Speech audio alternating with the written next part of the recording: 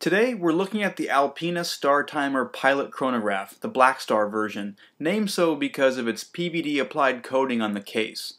This was released this year at Baselworld. While I've always been a big fan of Alpina and appreciate their price to value ratio, this particular watch was never really on my list of ones I wanted to spend a week with. But I saw it in person at the Time Crafters show in New York earlier this month, and I knew I had to take it for a spin. So many brands produced these pilot watches in the Flieger style from the 1940s. Fliegers were made by a few select brands and were military issue for German pilots. Like the Rolex Submariner, this is an off-repeated design that you see from brand after brand to the point where the black and white dial and blued hands are just becoming sort of forgettable. What I like about this Alpina is that it obviously takes its cues from mid-century Fliegers, but it stands on its own by using different colors and proportions and a lot of stunning depth. There are some fancy and luxurious touches to the design that really make this a nice watch. First off, it's using a gray sunray dial for the background, which is both different from the crowd of pilot watches and interesting in itself how it plays with light. You have applied Arabic numerals and then these extremely three-dimensional markers at the poles of the dial. At 12 o'clock, instead of the typical triangle with two dots, you have the Alpina logo. All these markers have polished steel borders that elegantly reflect light at the right angles. It's a clean dial, balanced, easy to read. The bicompax chronograph layout keeps it symmetrical, and I personally like how there is no date. The hour markers and white hands offer bold contrast, and this combined with the large Arabic numerals makes this one of the most legible watches I've ever handled. The dome sapphire crystal is flawless, it's invisible, which really gives you a straight line of sight into the dial from any angle, even extreme angles. Like I said, the Black Star earns its nickname from the PVD coating on the case. It's 44 millimeters wide, 53 millimeters lug to lug, and 14 millimeters thick. Despite the specs, it has a relatively sleek and stealthy presence on the wrist, at least more so than I expected. The surface is mostly brushed, although there are a few polished details, like the top of the bezel and the outer edges of the lugs. It's rated to 100 meters water resistance. The signed screw-down crown and pushers on the side of the case are fairly pronounced and begging to be used.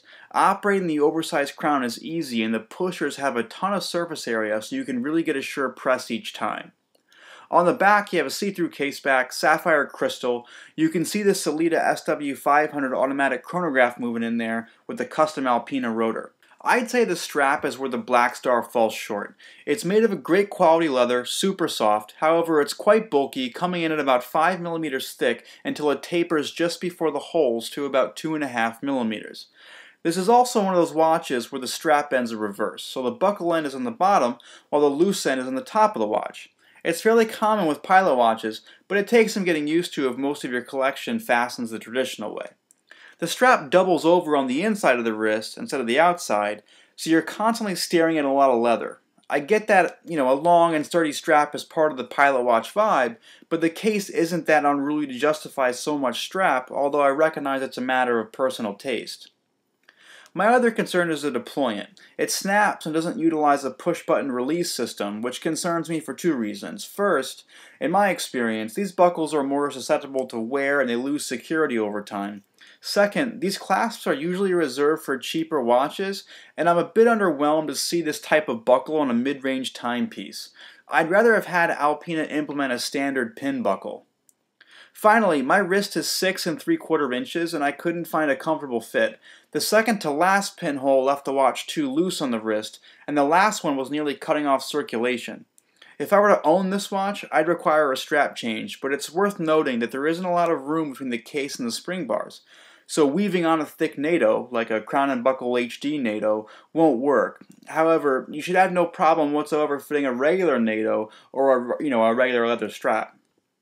With the right strap, the Black Star would feel and look great on the wrist in a variety of situations. It's sizable and hefty, but its dimensions and weight are easily manageable and fall in line with contemporary sport and pilot watches.